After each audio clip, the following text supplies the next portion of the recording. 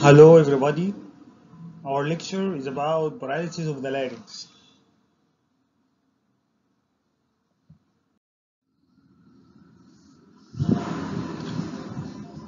First we shall start by the functions of the larynx. The functions of the larynx in order of importance are first is the protection, then respiration, phonation, and chest fixation.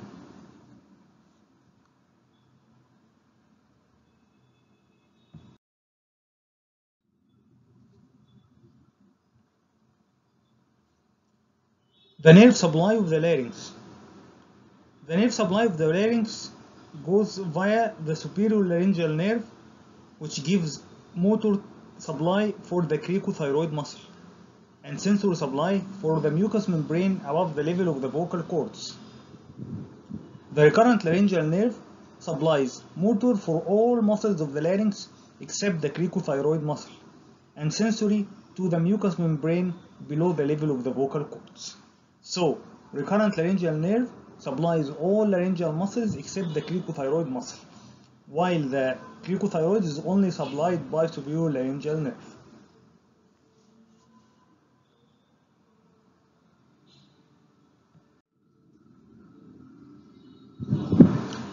This picture shows the course of recurrent laryngeal nerve.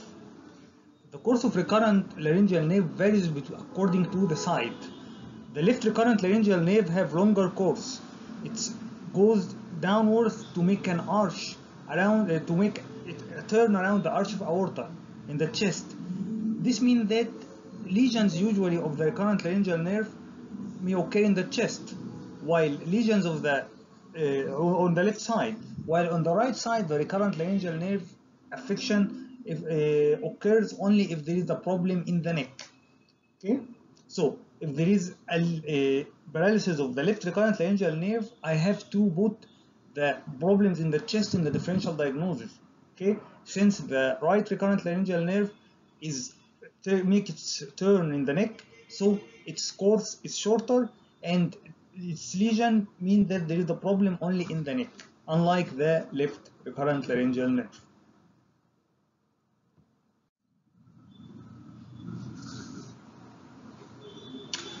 There are the movement of the vocal cords are adduction and abduction. The adduction is important for phonation, while abduction is important for inspiration. This picture shows the abduction of the vocal cords, means that the vocal cords goes away from each other, allow air to enter during the inspiration. This picture, on the other hand, shows the adduction of the vocal cords, which allow to make voice, make phonation.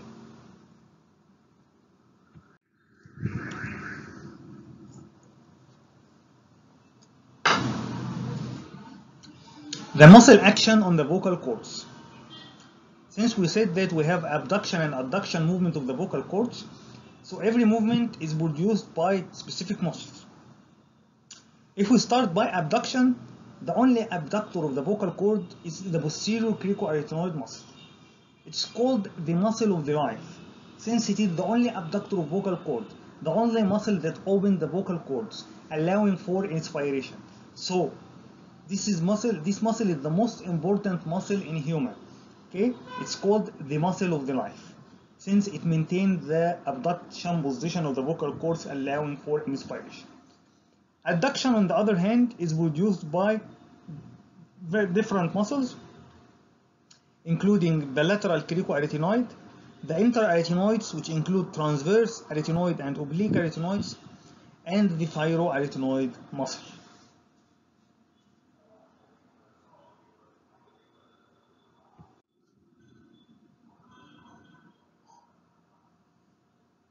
Also, we have what's called tensor muscles.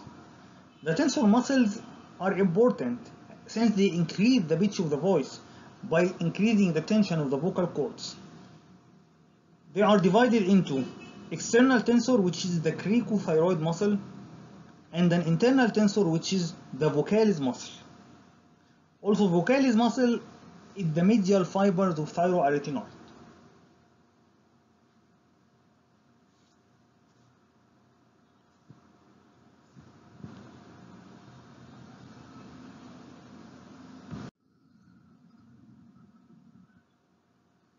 This picture shows the mode of action of the different muscles of the vocal cords.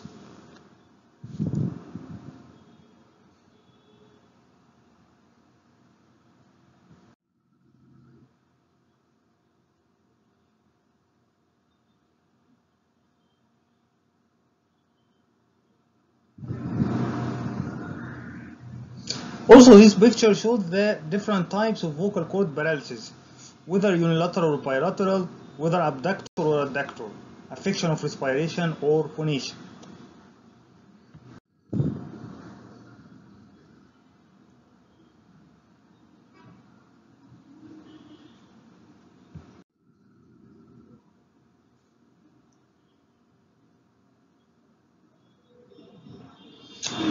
If we start by combined recurrent laryngeal and superior laryngeal nerve palsy, which is unilateral, means that the cord will be paralyzed in cadaveric position, producing hoarseness of voice, glottic incompetence, hoarseness, aspiration of liquids, ineffective cough, and partial anesthesia of larynx and aspiration. Combined eh, recurrent and superior laryngeal nerve bilateral paralysis leads to paralysis of vocal cords in, eh, in cadaveric position, producing aphonia, glottic incompetence leading to aspiration, ineffective cough, producing retention of secretion in the chest. Also, anesthesia of the larynx and aspiration.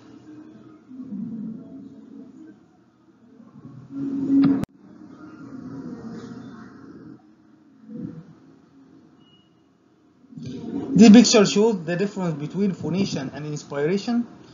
This is the the photo on your left hand shows the closed position, while the photo on the right hand shows the open position.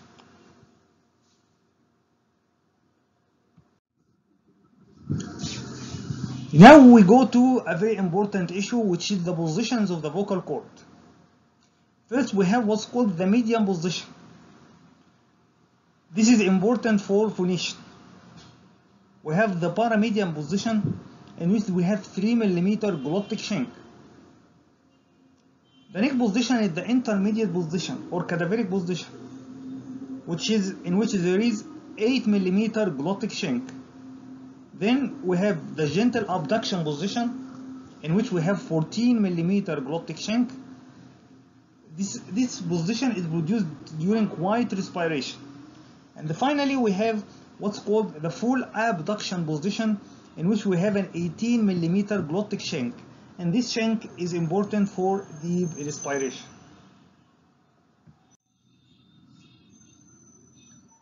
Now we go to some theories of the vocal cord paralysis.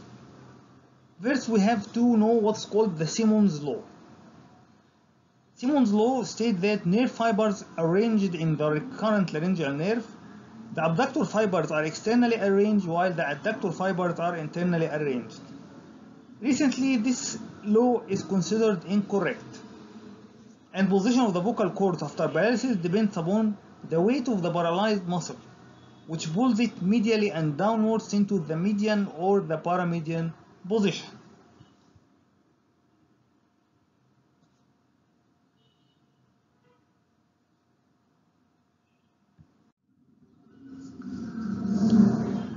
The position of the vocal cords according to Semon's law, partial recurrent laryngeal nerve leads to abductor paralysis leading to adduction in the median position.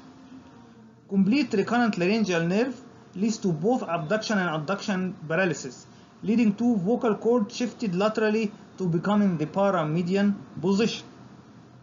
Combined recurrent laryngeal nerve and superior laryngeal nerve leading to the tensor muscles of the cords are also paralyzed, paralyzed and the cords will shift more laterally to become in the cadaveric position.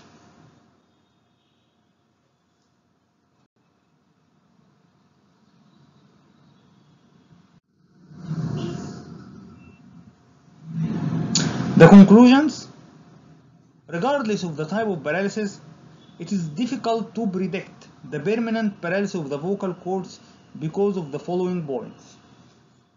First, continued function of the remaining muscle. Muscle fibrosis.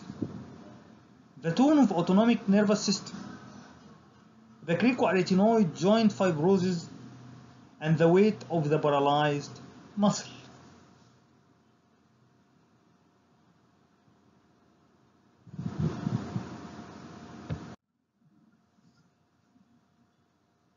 Now we have to go to one of the very important aspects of this lecture.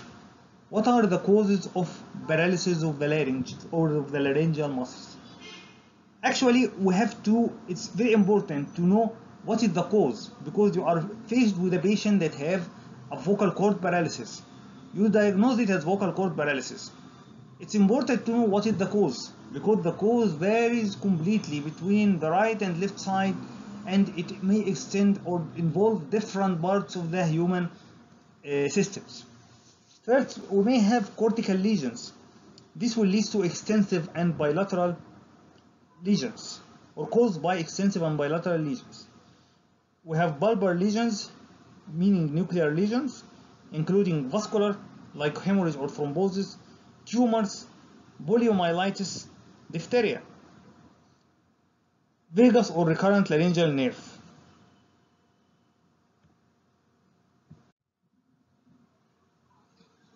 Vagus or recurrent laryngeal nerve may be injured at the base of the skull, in the neck, and in the thorax.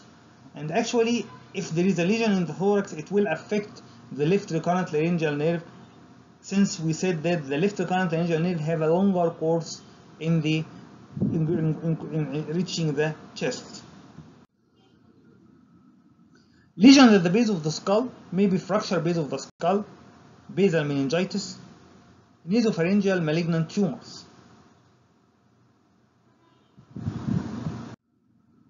Lesion in the neck, for example, thyroidectomy or thyroid malignancy, malignant lymph nodes, hypopharyngeal cancer, cancer esophagus and pharyngeal pouch, parapharyngeal abscess or malignancy. Lesions in the thorax, and also it will, as we said, it will affect the left recurrent laryngeal nerve. For example, malignant mediastinal lymph node, esophagus and bronchogenic carcinoma, aortic aneurysm and dilated left atrium, surgery of the heart, lung and esophagus, for example, ligation of beta and ductus arteriosus.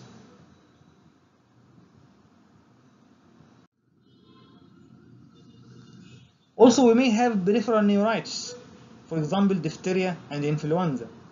And finally, we have an idiopathic cause in 25% of the causes leading to unilateral paralysis.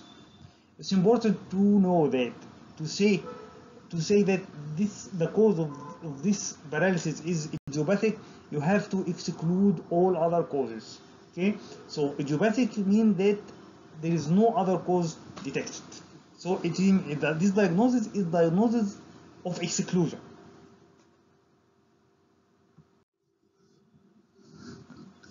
Superior laryngeal nerve paralysis is most commonly secondary to thyroidectomy, supraglottic laryngectomy, and radical neck dissection. The treatment, if it is unilateral, no treatment. If it is bilateral, you have to assure the patient till compensation occurs.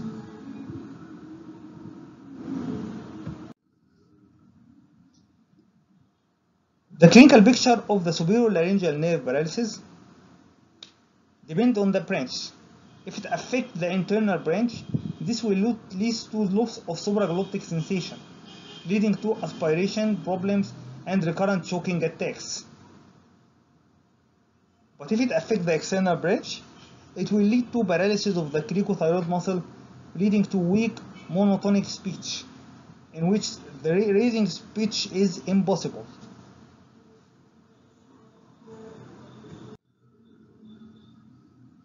We have different tests for detection or diagnosis of superior laryngeal nerve paralysis. First is the Gutzmann's test. Gutzmann's test means frontal pressure of the thyroid cartilage in the normal subject lowers the voice while lateral pressure raises the voice. With the paralysis of the cricothyroid muscle, the opposite is true.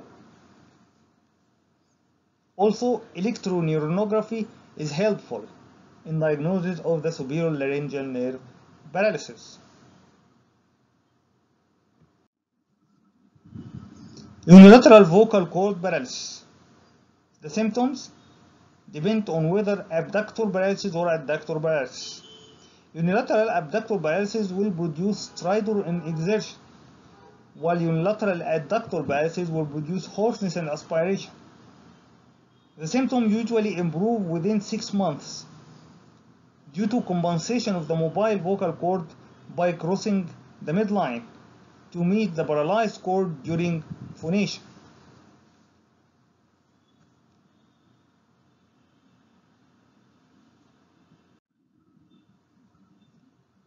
The signs of unilateral vocal cord paralysis the vocal cord will be paralyzed in the median position in case of abductor paralysis or in the intermediate cadaveric position in case of adductor paralysis.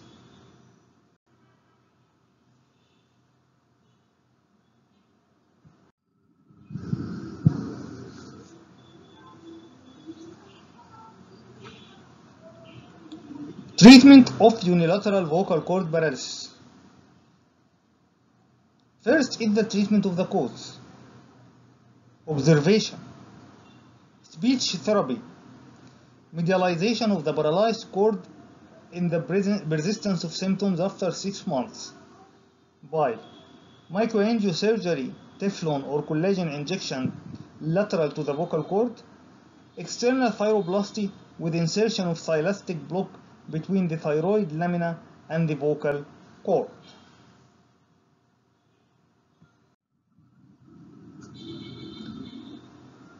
Right recurrent laryngeal nerve paralysis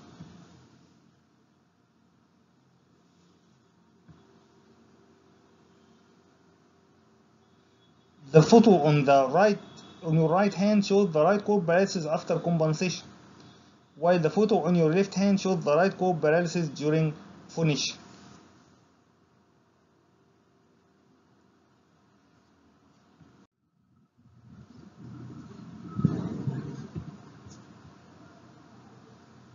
This photo shows the right cord paralysis during inspiration.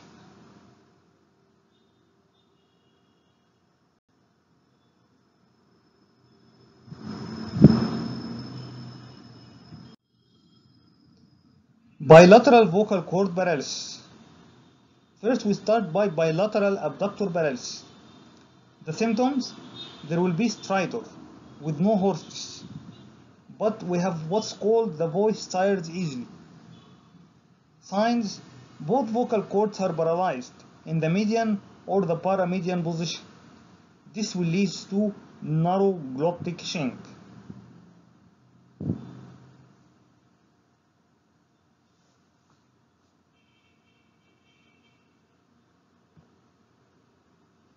This picture shows bilateral abductor paralysis. The treatment of bilateral abductor paralysis first is the treatment of the cause. Then we have to do surgical widening of the glottis to improve the airway, but this will be on the expense of the voice. This can be done by arytenoidectomy and posterior chordectomy using either laser or microlaryngeal surgery or arytenoidectomy and chordopexy, which is external for i.e. lateralization of the vocal cords by what's called Woodman's operation. Sometimes permanent tracheostomy with speaking valve may be performed.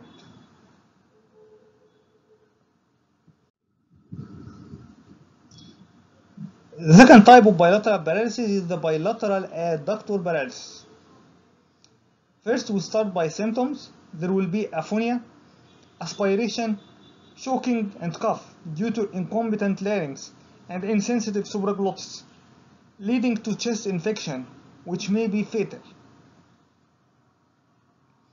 Signs there will be paralysis of the vocal cord. Both vocal cords will be paralyzed in the intermediate or cadaveric position.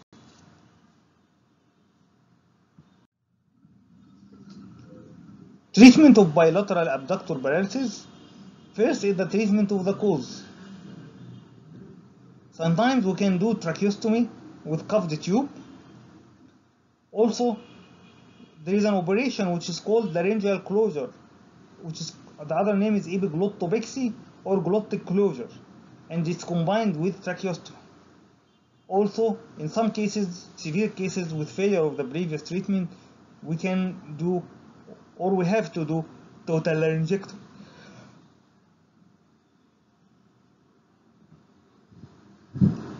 And this picture shows the bilateral adductor paralysis. Thank you very much for your listening.